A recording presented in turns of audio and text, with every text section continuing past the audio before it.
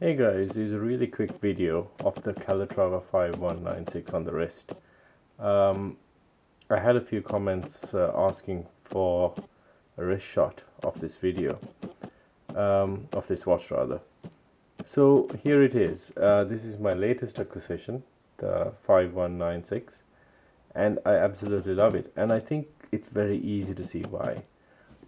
What more do you want from a simple dress watch? It is stunning white gold Patek Philippe 215 really well renowned uh, Patek Philippe seal movement. Um, it's just very simple hours minutes seconds white gold applied hour markers and minute markers. Uh, a very very very simple watch beautiful alligator strap gorgeous Patek Philippe buckle. Um, and there it is.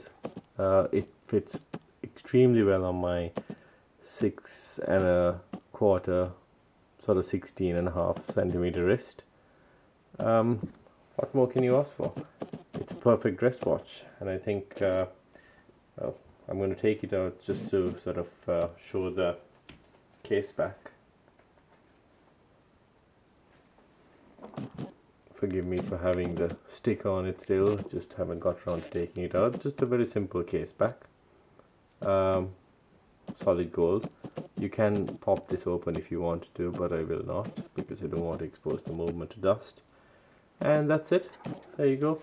Patek Philippe 5196G if you have any comments or questions please leave them down below. Hit like and do hit subscribe because uh, it means a lot to, to build up the subscriber base. Thanks a lot.